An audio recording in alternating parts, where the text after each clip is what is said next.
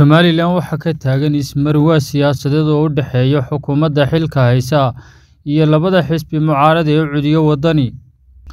Xaraaradda siyaasadda dalka ayaa kor u kacday maalmihii ugu dambeeyay kadib markii gobollada waaweyn ee Somalilan ay ka dhaceen bannaanbaxyo ay dhigayaan taageerayaasha isbahaysiga mucaaradka, kuwaasoo wasaaradda arrimaha guduhu u fasaxday inay xarumahooda ku bannaanbaxaan.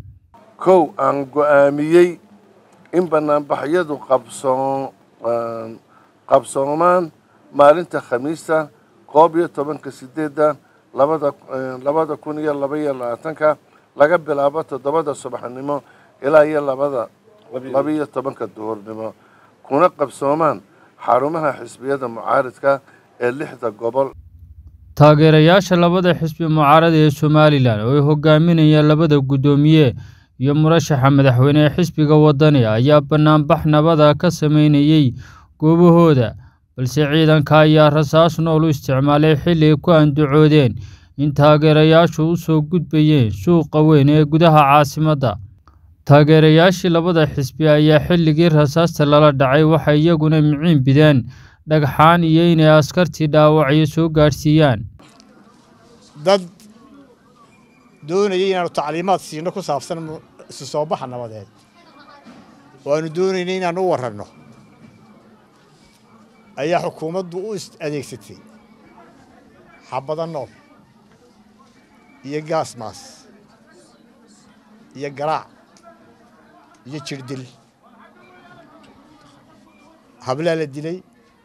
Xildhibaanaa la dilay.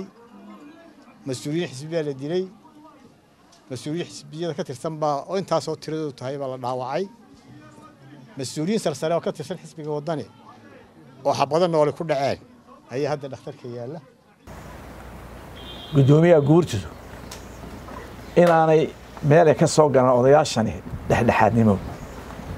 Aanay jirin arrintuna ay u taalo labada gole labada guddoomiye cabdirasaaqna aan guddoomiye cabdirasaaq waan u yeeri doonaa buu yidhi annagoo og in meel ay ka soo galaan guurtida iyo baarlamaanku dhexdhexaadnimo ay ka soo galaan inaanay jirin oo dee guurta waxay ka mid tahay iyo baarlamaanku xukuumaddii ka mid yihiin.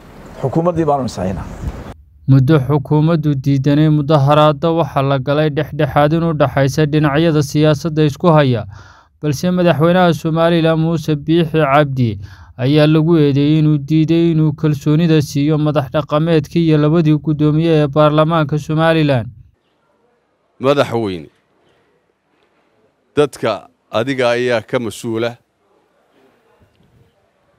Dhulka adigaa ka mas'uula. Adiga ayay ku cugteen oo kuu doorteen inaad noloshooda maamusho. Taariikhda oo aan cidna cafiinina. Waa iman doontaa maalin maalmaha ka mid ah. Waa sheegi doontaa adiga iyo raggaad cugatay iyo ragga iyaga kale dhaqanka la dirtayba.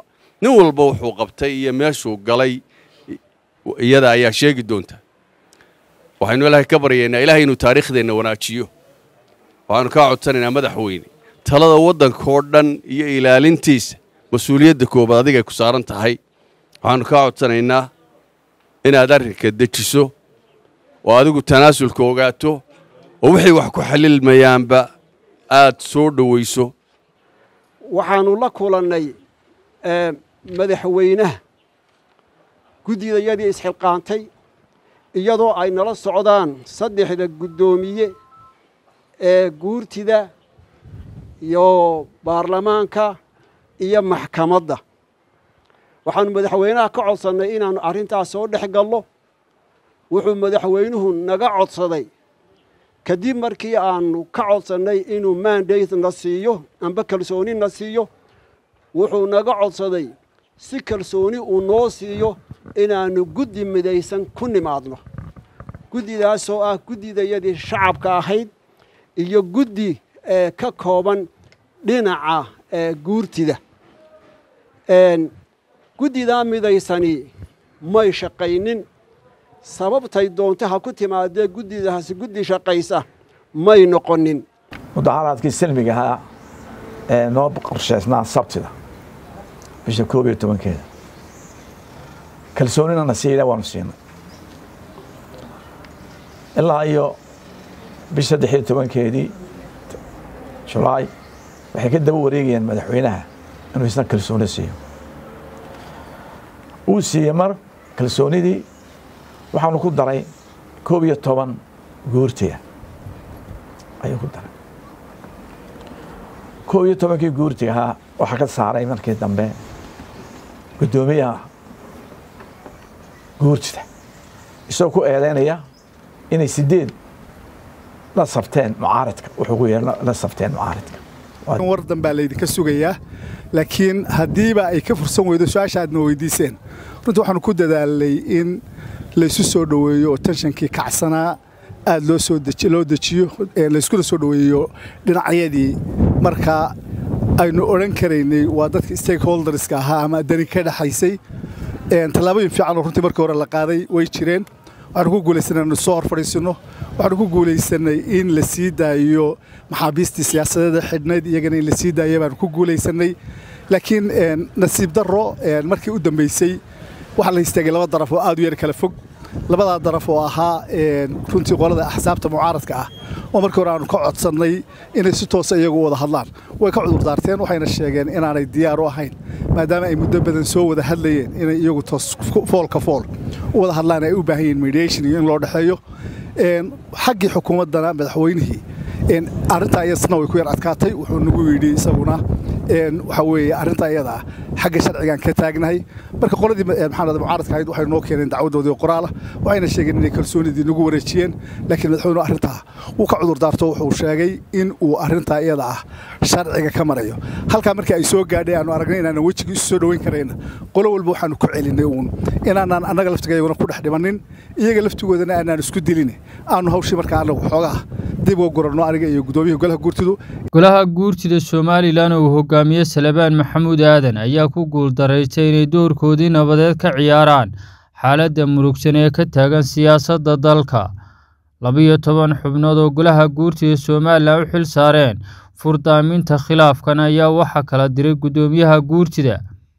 Qodobka ugu weyn ee labada dhinac isku hayaan ayaa ah labada doorasho ee madaxtooyada iyo ururada midda soo horeynaysa iyo wakhtiyadooda mucaaradka ayaa ku doodaya in madaxtooyadu soo horeyso halka xukuumadduna ay ku doodeyso inta ururadu ay soo horeynayso falanqeeyayaasha dhanka sharciga ayaa ku kala aragti duwan sharci ahaan midda soo horeysa waxaana sharci yaqaanad sida qotada dheer wax u darsaa ku macneeyeen khilaafku inuu yahay mid siyaasi ah isla markaana ay jiraan qodobo sharci oo laga tallaabsaday kuwaas oo fahamkooda iyo is-afgarashadooda lagu dhammayn karo uun kulan siyaasi oo wadar ogola mudaharaadadii somalilan ka dhacay koob iyo tobankii bisha ogost ayaa sababay in madaxweynaha qaranku sheegay in shan ruux ku dhinteen halka uu dhaawaca ku maleeyey inay boqol gaadhayaan.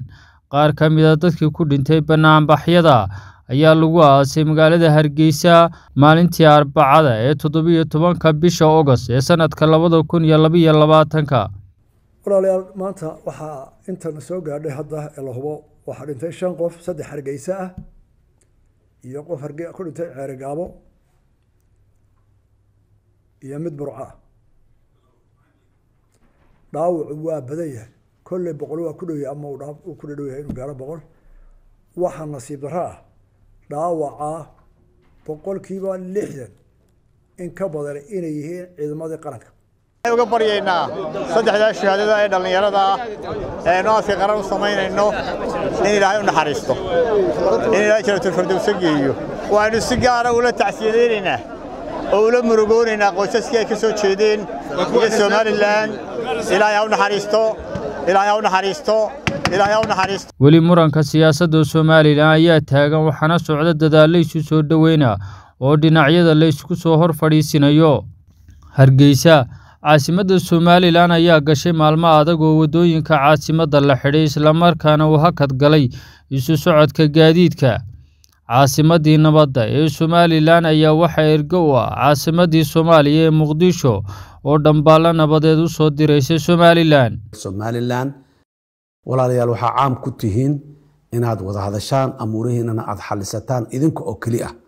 Waxaad ku faantaan annaguna aanan aada idinkugula faraxsannahay kuna faanno waxay tahay soomaalidu inay meel inta fadhiisata keligeed ay heshiin karto mithaal ayaan idiinsoo qaadana amuurahooda ayagaa xalisto ayagaa keligood meel fadhiistay ayagaa ku heshiiyey ayagaa ku dhaqmay ayagaa ku bulaalayaan dhahnaa.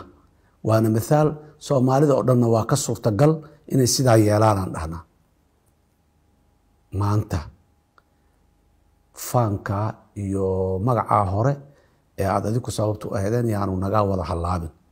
Dhibaatadu adinka idin gaar noqon mayso soomaalido dham ayay gaaray.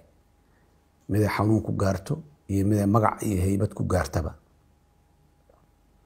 Waxaan idin leenahay oo aan idin xasuusinaynaa waxa aad tihiin ee la idinku yaqaano waa inaad tihiin dad tashada meel inta fadhiista amuurahooda ka tashada kuna heshiiyo horena u socdo. Walaalayaal waxaan aada uga dardaarmaynaa oon aada uga digaynaa ha gaarina meel dibadda la idinka soo farageliyo waa taariikho isqoraya waxaana muuqata inay meesha ka baxayso isu tanaasulkii iyo tudhaalihii somalilan lagu yiqiinay rajada keliya ee la naawilaya ayaa ah in wadahadal lagu dhammeeyo xaaladda murugsan ee somalilan maadaama waayo arag lagu yahay dhibaatada dagaalka iyo mahadhada xanuunada uu reebo.